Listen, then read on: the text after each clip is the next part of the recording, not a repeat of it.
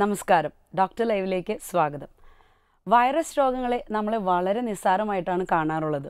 എന്നാൽ ഈ അടുത്തിടെയായി കാണപ്പെട്ട H one N one dengue ഇപ്പോഴിതാ നിപ വൈറസ് ഇവയെല്ലാം വളരെ ഗുരുതരമായ ആരോഗ്യ പ്രശ്നങ്ങളാണ് ഉണ്ടാക്കുന്നത്.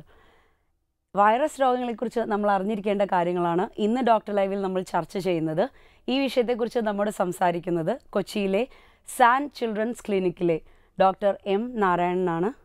ഡോക്ടർ സ്വാഗതം. വൈറസ് രോഗങ്ങൾ പൊതുവെ അത്ര ഗുരുതരമല്ല എന്ന് പറയാറുണ്ട്. അത് ശരിയാണോ? തീർച്ചയായിട്ടും. കാരണം ഒരു തൊണ്ണൂറ്റെട്ട് ശതമാനം വൈറസ് രോഗങ്ങളും വലിയ കുഴപ്പമൊന്നുമില്ലാതെ നമ്മളൊരു സാധാരണ ഒരു പനി വരുന്നു മാറുന്നു.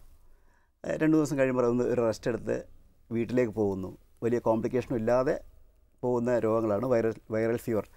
പലപ്പോഴും നമ്മൾ മെഡിക്കൽ സർട്ടിഫിക്കറ്റ് വൈറൽ ഫീവർ ആയിട്ട് രണ്ട് ദിവസം സ്കൂളിൽ പോയില്ല അല്ലെങ്കിൽ ക്ലാസ്സിൽ പോയില്ല. അത് പൊതുവേ ഈ തൊണ്ണൂറ്റെട്ട് ശതമാനം കേസുകളിലും ഈ വൈറസ് രോഗങ്ങൾ വളരെ കുഴപ്പമൊന്നുമില്ലാതെ പോകുന്ന രോഗങ്ങളാണ്.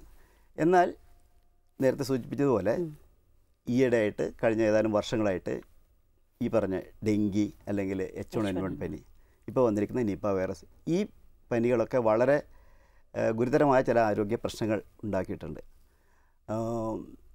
നമ്മൾ ചരിത്രം എടുത്തു നോക്കുകയാണെങ്കിൽ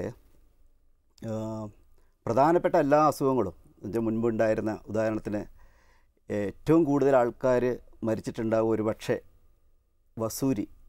എന്ന അല്ലെങ്കിൽ സ്മോൾ പോക്സ് എന്ന് പറയുന്നത് ആ. രോഗം ഭൂമുഖത്തുണ്ടായിട്ട് ഏകദേശം പതിനായിരം വർഷങ്ങൾക്ക് മുമ്പാണ് ഈ സ്മോൾ പോക്സ് ഉണ്ടായിരിക്കുന്നത് അന്ന് തൊട്ട് കഴിഞ്ഞ നൂറ്റാണ്ടിൽ ആയിരത്തി തൊള്ളായിരത്തി എഴുപത്തൊന്ന് വരെ ഉള്ള ആ വർഷങ്ങളിൽ ഏകദേശം ഒരു വലിയൊരു ശതമാനം ആളുകൾ ഭൂമുഖത്ത് നിന്ന് അപ്രത്യക്ഷമായത് ഈ സ്മോൾ പോക്സ് വസൂരി പല രാജ്യങ്ങളിലും. വരുമ്പോൾ ചിലപ്പോൾ ആ അന്ന് ജീവിച്ചിരിക്കുന്ന ജനങ്ങളിൽ ചിലപ്പോൾ ഇരുപത്തഞ്ച് ശതമാനം പേര് ചിലപ്പോൾ പകുതിയോളം പേര് മരണത്തിന് അടിമപ്പെടുകയാണ് ഉണ്ടാകുന്നത് അതുപോലെ തന്നെ വളരെ പ്രാചീന കാലത്ത് തന്നെ ഉണ്ടായിരിക്കുന്ന ഒരു വൈറൽ ഫീവറാണ് മീസിൽസ് എന്ന് പറയുന്ന വൈറൽ ഫീവർ അതും ഒരുപാട് ആളുകൾ അവർക്ക് ജൈ- ഇത് ജീവൻ നഷ്ടപ്പെട്ടിട്ടുള്ള അസുഖങ്ങളാണ്.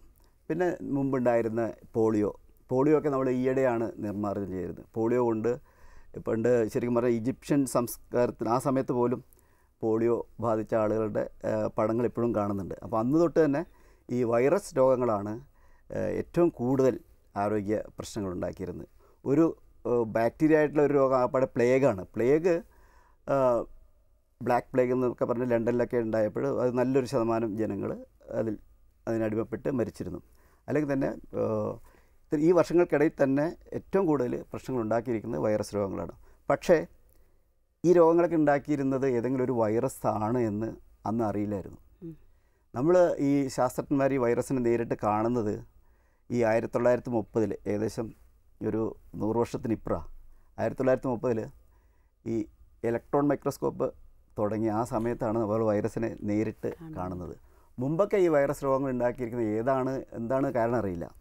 ബാക്ടീരിയ കണ്ടെത്തിയതിന് ശേഷം ഒരുപാട് വർഷങ്ങൾ കഴിഞ്ഞിട്ടാണ് ഈ വൈറസിനെ കാണുന്നത്.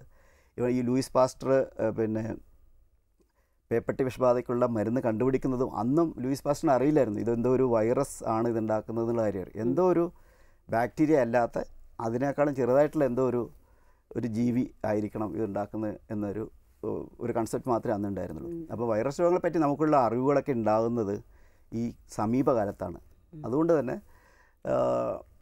പല രോഗങ്ങളും നേർ അത് നിർ കറക്റ്റായിട്ട് നിർണയിക്കാനുള്ള പ്രയാസം മുൻകാലങ്ങളിലുള്ളതുപോലെ ഇപ്പോഴും നമുക്കുണ്ട്. എല്ലാ വൈറസ് രോഗങ്ങളും കറക്റ്റായിട്ട് ഇന്നതാണ് ഈ വൈറസ് രോഗം എന്ന് കണ്ടുപിടിക്കാൻ നമുക്ക് പറ്റില്ല.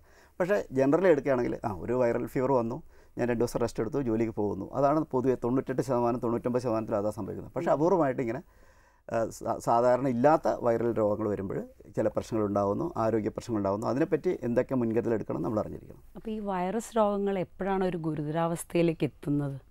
തീർച്ചയായിട്ടും. ഈ മറ്റ് ബാക്ടീരിയൽ രോഗത്തെക്കാൾ ഈ വൈറസ് രോഗത്തിന്റെ ഒരു പ്രത്യേകത എന്ന് പറഞ്ഞാൽ അത് ശരീരത്തിന്റെ എല്ലാ അവയവങ്ങളെയും ബാധിക്കാൻ ചാൻസ് ഉണ്ട്. ഇപ്പോൾ ഉദാഹരണത്തിന് നമ്മളൊരു പനി വരുമ്പോൾ അല്ലെങ്കിൽ ഒരു വരുമ്പോൾ മേലുവേദന ഉണ്ടാവും തലവേദന ഉണ്ടാവും ഛർദി ഉണ്ടാവും. ഛർദി ഉണ്ടാകുന്നത് പിന്നെ വയറിനെ ബാധിക്കുന്നത് കൊണ്ടാണ്.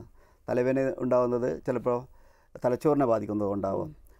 പേശി വേദന ഉണ്ടാവും. അപ്പോൾ പല അവയവങ്ങളെയും ഈ വൈറൽ ഫീവർ വരുമ്പോൾ ബാധിക്കും.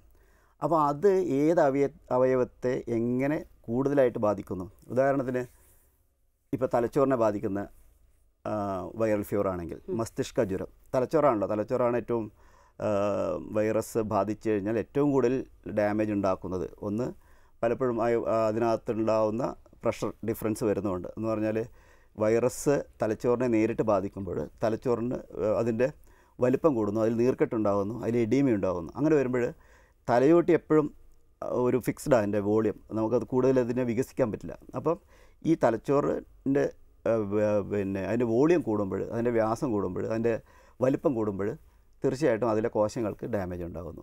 അതാണ് നമ്മൾ പലപ്പോഴും ഈ വൈറസ് ബാധിക്കുന്ന തലച്ചോറിനെ ബാധിക്കുന്ന വൈറസ് രോഗങ്ങളെ എൻസെഫലൈറ്റിസ് എന്നാണ് പറയുക അപ്പോൾ എൻസെഫലൈറ്റിസ് ബാധിക്കുമ്പോൾ തലച്ചോറിന് കുഴപ്പങ്ങളുണ്ടാകുന്നു അതേസരം എച്ച് വൺ എൻ പോൾ എച്ച് വൺ എൻ വൺ പോലുള്ള വൈറസുകൾ ബാധിക്കുന്നത് കൂടുതലും പിന്നെ ലങ്സിനെയാണ്. അപ്പോൾ ലങ്സിന് ചിലപ്പോൾ ന്യൂമോണിയ ഉണ്ടാകുന്നു. അത് ന്യൂമോണിയ രണ്ട് സൈഡിലും കൂടുതലായിട്ട് വന്നിട്ട് നമുക്ക് വേണ്ടത്ര ഓക്സിജൻ കിട്ടാത്ത അവസ്ഥയിലാണ് അത് മാരകമാകുന്നത്.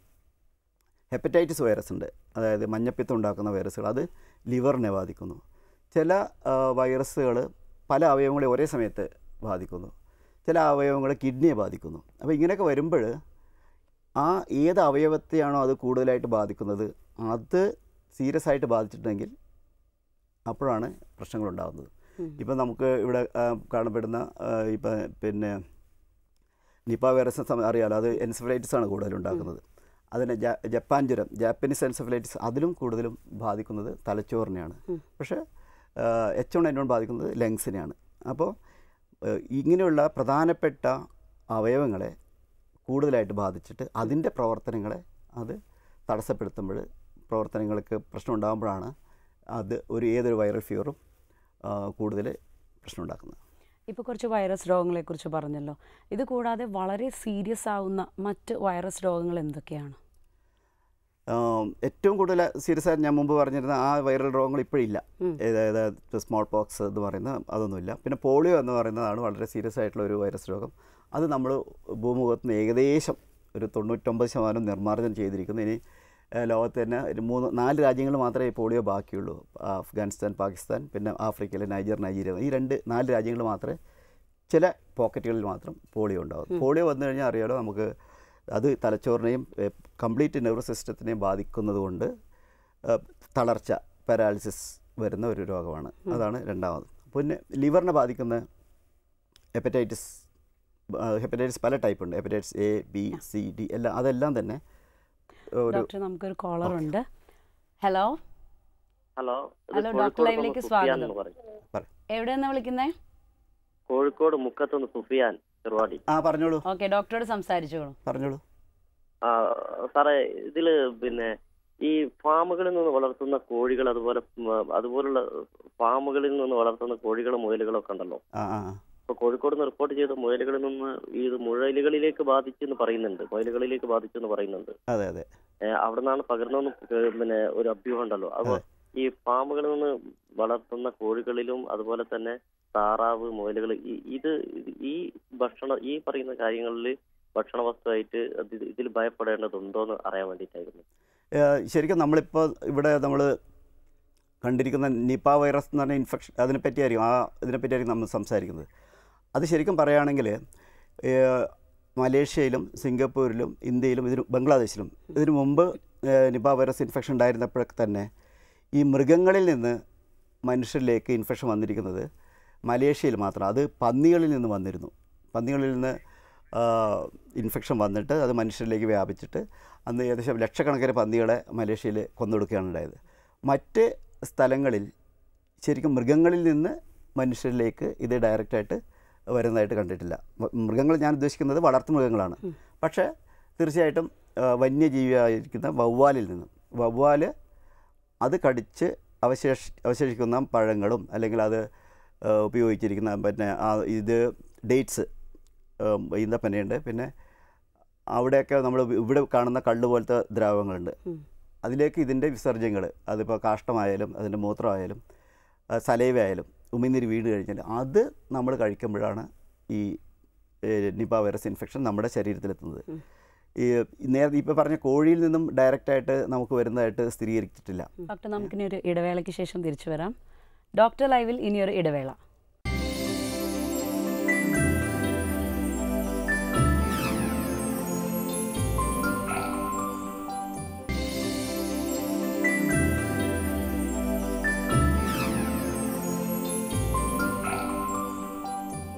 ഡോക്ടർ ലൈവിലേക്ക് സ്വാഗതം. നമുക്ക് മറ്റൊരു കോളർ കൂടിയുണ്ട്. Hello good afternoon. Good afternoon. എവിടെ വിളിക്കുന്നേ?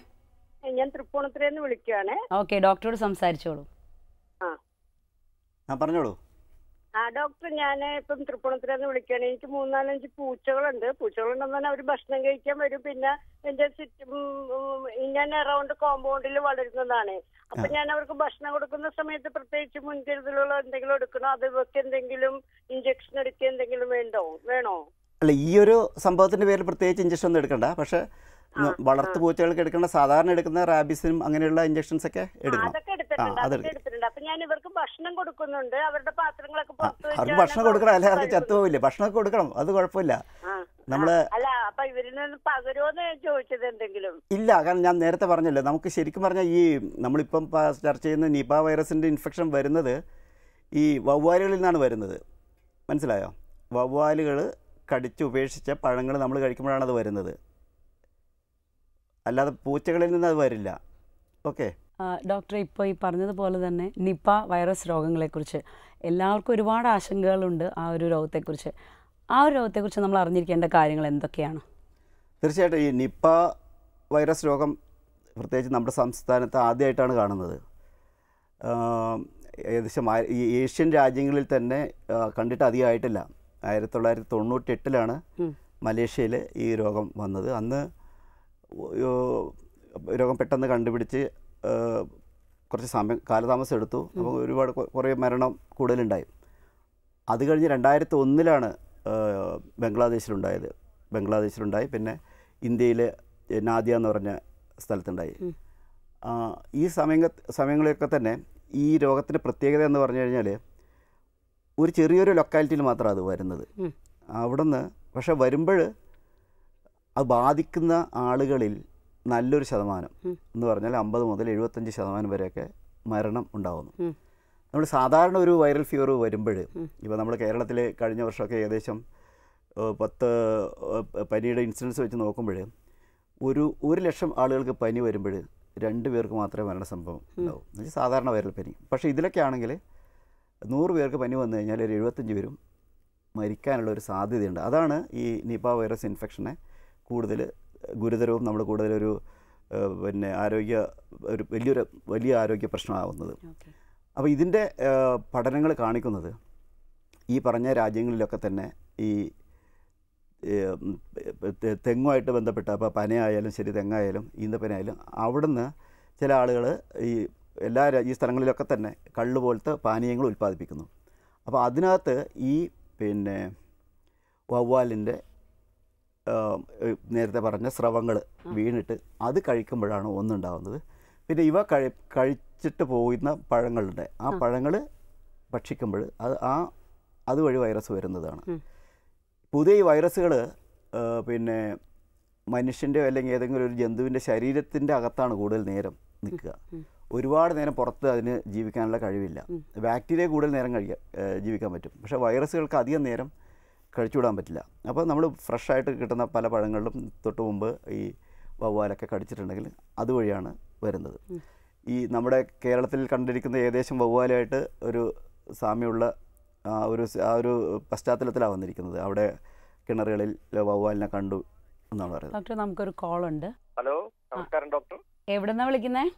ഞാൻ കാക്കനാട് നിന്നാണ് വിളിക്കുന്നത്. എന്റെ പേര് സജിത് കുമാർ. ഓക്കെ ഡോക്ടറോട് സംസാരിച്ചോളൂ. പറയൂ. ഡോക്ടർ ഞാൻ എന്റെ സംശയം hepatitis A and hepatitis B C വിഭാഗത്തിൽപ്പെട്ട വൈറസുകളുള്ള പ്രതിരോധ കുത്തിവയ്പ്പിനെ കുറിച്ചാണ്. ഞാൻ രണ്ടായിരത്തി ആറിൽ ഹെപ്പാറ്റൈറ്റിസ് എയ്ക്കും ഹെപ്പാറ്റൈറ്റിസ് ബിക്കും എടുക്കുകയും ബൂസ്റ്റർ ഡോസുകൾ കംപ്ലീറ്റ് ചെയ്യുകയും ചെയ്തതാണ്. ഞാൻ ഇനിയും ആ കുത്തിവയ്പ്പ് എടുക്കണോ ഈ രോഗത്തിന് പ്രതിരോധ ശേഷി കിട്ടാൻ വേണ്ടി? വേണ്ട. ഹെപ്പറ്റൈറ്റിസ് എ ആണെങ്കിൽ അതിന് രണ്ട് ഡോസ് വാക്സിനാണ് പറയുന്നത്. സാധാരണ അത് ആറുമാസം ഇന്റർവെല്ലാണ് എടുക്കുന്നത്. ചിലപ്പോൾ ഒരു സിംഗിൾ ഡോസ് ഇപ്പോൾ ചില വാക്സിൻസ് ഹെപ്പറ്റൈറ്റിസ് എയുടെ സിംഗിൾ ഡോസ് വാക്സിൻ തന്നെ ലൈഫ് ലോങ് ആയിട്ട് ആയുഷ്കാലം മുഴുവൻ പിന്നെ നമുക്ക് പ്രൊട്ടക്ഷൻ തരുന്ന വൈറസ് വാക്സിനുകളുണ്ട് ഹെപ്പറ്റൈറ്റിസ് ബിയുടെ ആണെങ്കിൽ മൂന്ന് ഡോസുകൾ എടുക്കേണ്ടത് ആദ്യം ഒരു ഡോസ് രണ്ടായിരത്തി ആറിലാണ് എടുത്തത്. കുഴപ്പമില്ല. അന്ന് അന്ന് ഹെപ്പറ്റൈറ്റിസ് ബിയുടെ മൂന്ന് ഡോസ് എടുത്തിരുന്നോ? എടുത്തിരുന്നു. മൂന്ന് ഡോസ് അങ്ങനെയാണെങ്കിൽ നിങ്ങൾ അങ്ങനെയാണെങ്കിൽ നിങ്ങൾ ഇപ്പോൾ പ്രൊട്ടക്റ്റഡ് ആണ്. വേറൊരു വാക്സിൻ എടുക്കേണ്ട ആവശ്യമില്ല. കുഴപ്പമില്ല കുഴപ്പമില്ല. അത് മൂന്ന് മൂന്ന് ഡോസ് എടുത്തു കഴിഞ്ഞിട്ടുണ്ടെങ്കിൽ ലൈഫ് ലോങ് പ്രൊട്ടക്ഷൻ ആണ്. അത് വേറെ എടുക്കേണ്ട ആവശ്യമില്ല. ഓക്കെ നമ്മൾ പറഞ്ഞു വന്നത് നിപ വൈറസ് രോഗങ്ങളെക്കുറിച്ചാണ്. കുറിച്ചാണ് അതിനെക്കുറിച്ച് തുടരാം. അഥവാ ഈ ഇത് വരുന്നത് തന്നെ ഈ ഇതുവരെ കണ്ടെടുത്ത ഏറ്റവും കൂടുതൽ ഇതിന്റെ ഒരു റിസർവോയർ ഓഫ് ഇൻഫെക്ഷൻ എവിടെ നിന്നാണ് ഈ ഇൻഫെക്ഷൻ വരുന്നത്? വവ്വാലുകളിലാണ് കണ്ടിരിക്കുന്നത്. അത് എന്തുകൊണ്ടെന്ന് പറഞ്ഞു കഴിഞ്ഞാൽ സാധാരണ ഈ വനനശീകരണത്തിന്റെ ഒരു ഭാഗമായിട്ടാണ് ഇത് വന്നിരിക്കുന്നത്. സാധാരണ ഈ വവ്വാൽ എന്ന് പറഞ്ഞാൽ അതൊരു വന്യജീവിയാണ്. അത് വനത്തിലാണ് താമസിക്കേണ്ടത്. അവിടെ അതിന് ആവശ്യത്തിനുള്ള ഭക്ഷണം കിട്ടും അതിനുള്ള ചുറ്റുപാടുകളുണ്ട് അന്തരീക്ഷമുണ്ട് അത് സുഖമായിട്ട് അവിടെ ജീവിക്കുന്ന. ഈ കാടുകൾ വെട്ടിത്തെളിക്കുമ്പോൾ ഇത് നാട്ടിലേക്ക് വരുമ്പോൾ അതിന്റെ ആവാസ വ്യവസ്ഥയ്ക്ക് വലിയൊരു പ്രശ്നം വന്നു. അപ്പോൾ അത് മൊത്തം ടെൻഷനാണ് അതിന്. എന്റെ നമ്മുടെ വീട് വിട്ട് പോയതിന്റെ ടെൻഷൻ കൊണ്ട് അതിന്റെ ആവാസ വ്യവസ്ഥയിൽ ഉണ്ടാകുന്ന പ്രശ്നം കൊണ്ട് അതിന്റെ ഇമ്മ്യൂണിറ്റി അതിന്റെ പ്രതിരോധശേഷി വളരെ കുറയുന്നു. കുറയുമ്പോൾ ഇങ്ങനെയുള്ള വൈറസ് ബാധ വരുമ്പോൾ അതിന്റെ അതിന് അതിനെ അതിജീവിക്കാൻ പറ്റുന്നില്ല. ഈ വൈ പിന്നെ വവ്വാലിന്റെ ശരീരത്തിൽ ക്രമാതീതമായിട്ട് സാധാരണ കാണുന്നതിൽ കൂടുതൽ തന്നെ ഈ വൈറസുകൾ കാണുന്നു. അതുകൊണ്ടാണ് അത് ചെന്നിരിക്കുന്നിടത്തൊക്കെ ഈ വൈറസുകൾ വിതരാനുള്ള ഒരു സാഹചര്യം ഉണ്ടാകുന്നത്. അതുകൊണ്ടാണ് ഈ നാട്ടിലെ നാട്ടിലുള്ള വവ്വാലുകൾ ഇത് കൂടുതൽ പരത്തുന്നത്. സ്വാഭാവികമായിട്ട് ഇങ്ങനെയുള്ള ഒരു വ്യക്തി ഇതുമായിട്ട് സമ്പർക്കം വന്ന ഈ വൈറസുമായിട്ട് സമ്പർക്കം വന്ന ഒരു വ്യക്തിയിൽ ഈ വൈറസ് കയറുന്നു വൈറസ് കയറി കഴിഞ്ഞാൽ നമുക്കതിനൊരു എത്ര ദിവസം കഴിഞ്ഞിട്ടാണ് അതിനൊരു ഇൻക്യുബേഷൻ പീരീഡ് എന്ന് പറയും. അത് സാധാരണ ആ വൈറസ് നമ്മുടെ ശരീരത്തിൽ എത്തുന്നു അത് പെരുകുന്നു അത് നമ്മുടെ നേരത്തെ പറഞ്ഞ അവയവങ്ങളിലേക്ക് പോകുന്നു. അവിടെ ഈ രോഗത്തിന്റെ ലക്ഷണങ്ങൾ ഉണ്ടാക്കുന്നു. ഇതിനൊക്കെ കുറച്ച് സമയമെടുക്കും. അതിനാണ് നമ്മൾ ഇൻക്യുബേഷൻ പീരീഡ് എന്ന് പറയുന്നത്. സാധാരണ ഇത് ഏറ്റവും ചുരുങ്ങിയത് രണ്ട് ദിവസം. പരമാവധി സാധനം ഒരു പതിനാല് ദിവസം. ശരാശരി ഒരു ഒമ്പത് ദിവസം. ഇതാണ് ഈ നിപ്പ വൈറസ് ഇൻഫെക്ഷന്റെ ഇൻക്യുബേഷൻ പീരീഡ് എന്ന് പറഞ്ഞത് സോ നമ്മുടെ ശരീരത്തിൽ ഇത് വന്നു കഴിഞ്ഞാൽ നമ്മളൊരു ഒരു പത്ത് പതിനാല് ദിവസത്തിനിടയ്ക്കയിൽ ഇതിന്റെ രോഗലക്ഷണങ്ങൾ കാണിച്ചു തുടങ്ങും എനിക്ക് തോന്നുന്നു ഈ ഒരു നിപ്പ വൈറസ് രോഗത്തെക്കുറിച്ച് നമുക്കൊരു ഇടവേളയ്ക്ക് ശേഷം സംസാരിക്കാം. ഡോക്ടർ ലൈവിൽ ഇനിയൊരു ഇടവേള.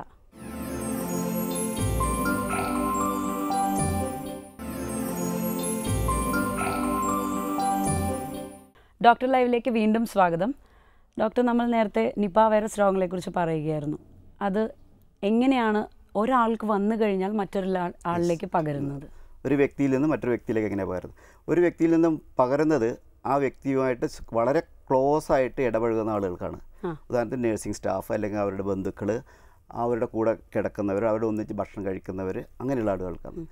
ഈ സ്രവങ്ങൾ എന്ന് പറഞ്ഞു കഴിഞ്ഞാൽ നമ്മുടെ ഉമ്മിനീര് ഉമിനീര് അല്ലെങ്കിൽ ബ്ലഡ് അല്ലെങ്കിൽ നമ്മൾ തുമ്മുമ്പോഴുണ്ടാകുന്ന എയറോസോൾ എന്ന് പറഞ്ഞാൽ ഒരു നമ്മൾ ഒരാൾ ചുമക്കുകയാണെങ്കിൽ ഒരു ആ ഒരു ആറടി ഒന്നര മീറ്റർ വരെ നമ്മുടെ അത് പോകും അത്രയും ദൂരമുള്ളവർക്ക് ഇത് കിട്ടാനുള്ള സാധ്യതയുണ്ട്.